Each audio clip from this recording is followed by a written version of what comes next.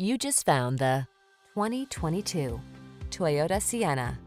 With less than 5,000 miles on the odometer, this vehicle stands out from the rest. Take peace of mind along on every family drive when you're in this stylish Sienna.